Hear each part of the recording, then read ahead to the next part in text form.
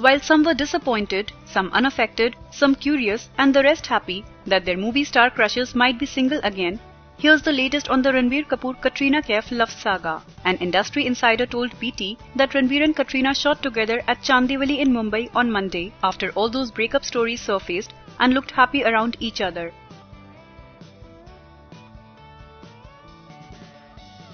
A breakup is unlikely. They have had tiffs like any other couple. Even in the past, on numerous occasions, Ranbir has stormed out of their house after an argument and has stayed at friend Ayan Mukherjee's home, so there's nothing alarming about him walking out of the house. It doesn't look like it's over between the two as yet, revealed our source.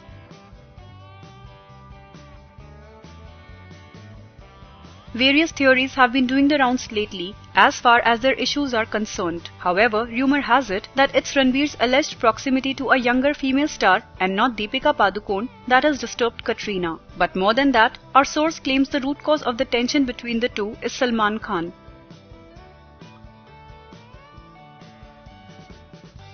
We were told Katrina agreeing to promote her next film on the finale of Bigg Boss, a show hosted by her ex-spouse Salman, didn't go down well with Ranbir and that led to a major argument. It can be recalled that Ranbir himself didn't appear on the show to promote his film Tamasha and he reportedly didn't want Katrina on it either.